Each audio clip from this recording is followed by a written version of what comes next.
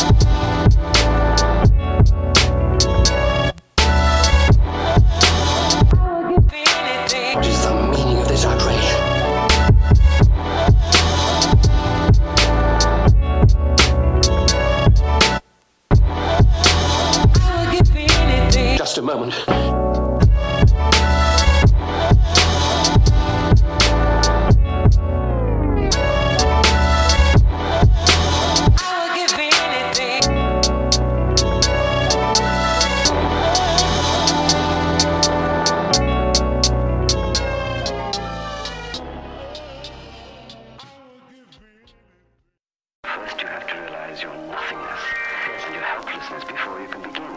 And people take this in a negative way. Uh-huh. They think they have to be miserable and think I'm so inadequate and empty and stupid. And that's nothing. It's not nothingness. Nothingness is joyful. It's this opening. That's right. And unless you get to that, being able to evacuate yourself of everything, you cannot begin.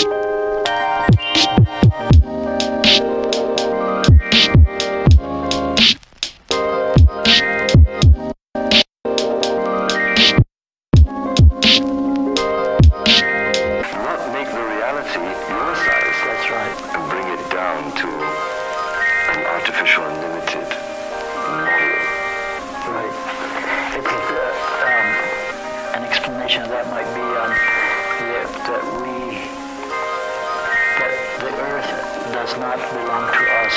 We belong to the earth. And so we, to be, we have to be under